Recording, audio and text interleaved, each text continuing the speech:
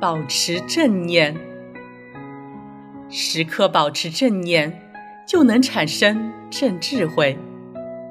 无我的慈悲就是正慈悲，为众生想出来的方法就是正智慧。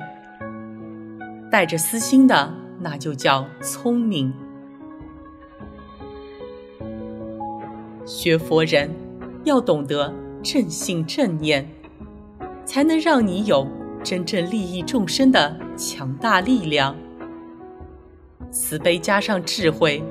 叫悲智双运，慈悲的心，智慧的思维，你就能时刻自尽其意，保持正念。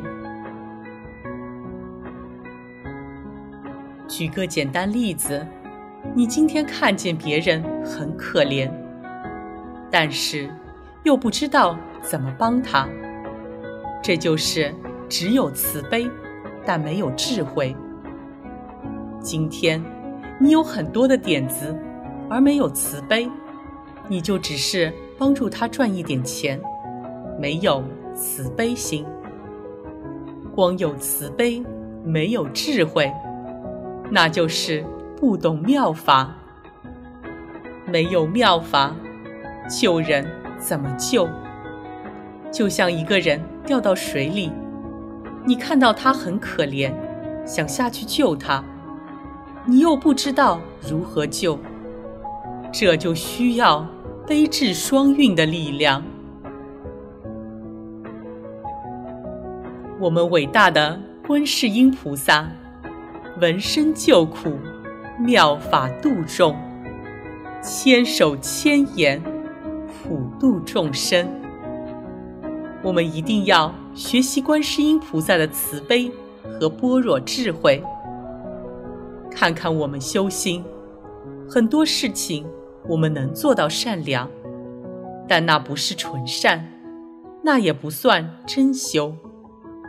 因为做点好事并不难，难的是在于要有恒心，那才叫纯善。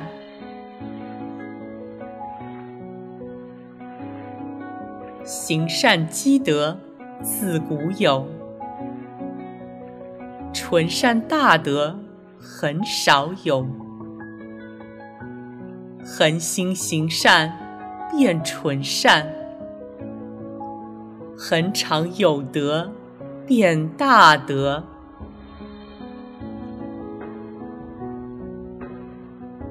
修心不是靠一个冲劲，学佛。不是靠一个精进，没有恒常做你的中流砥柱，你经也念不好，佛也修不成。恒心最重要，无恒哪来成？真修的人必须要有恒心，修心实际上就是。一个人人生的转折点，有很长一段路要走。要学会转恶成善，转染为净，转识成智。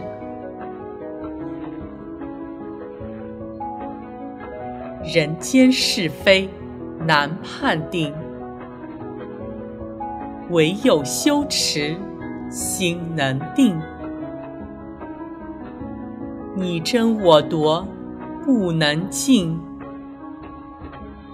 烦心闹心，没有定。师父跟大家讲经说法的时候，经常告诉大家，要做个善男子、善女人，都不容易。什么叫善？行善之人，只做善事。不作恶，善良的人没有嫉妒心，没有争斗心，没有自私心。有些学佛人满腹经纶，口吐莲花，但还不算利益众生。真正的学佛人，不是单单弘法，还要做个善男子、善女人。师父曾经跟大家讲过，菩萨所说的善男子、善女人，是身口意都非常干净，没有十恶业的人，愿意改正错误的人，没有。功高我慢的人，一动念头就会产生正信正念的人。大家看看，行善都很不容易，因为一善解百灾。真正的纯善，哪会行恶呢？真正有正念的人，哪会有邪念呢？善男子、善女人，多多益善。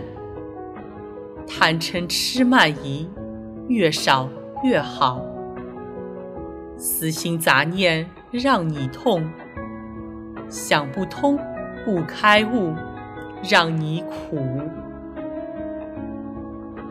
善男子、善女人，解释的标准不一样，因为。每个师傅解释的层次不一样，就相当于一个老师说的一个好学生，和一个社会上所说的好人，出发点不一样，意念当然有偏差。所以，佛认为的善男子，一定要八正道，正心正念。想的是正思维，行的是正行，说的是正语。没有正，什么善都有可能走偏；没有正，什么智慧都可能变成小聪明；没有正，什么慧都有可能。变成邪会。想想那些盗贼，破译别人密码锁，哪个没有一些小聪明？所以，佛法界讲，真正的行善，是一定要在有正的前提下。无正不为慈，无正不为悲。真修的人，才是有真智慧、真慈悲。任何人在修心当中有不纯、不恒，都没有可能达到正慈悲。在这里，师父再提醒大家：八正道就是正见、正思维、正念。正语、正业、正命、正精进、正定，保持正念很重要，阻止恶业有成效。好好学习八正道，正心正念最重要。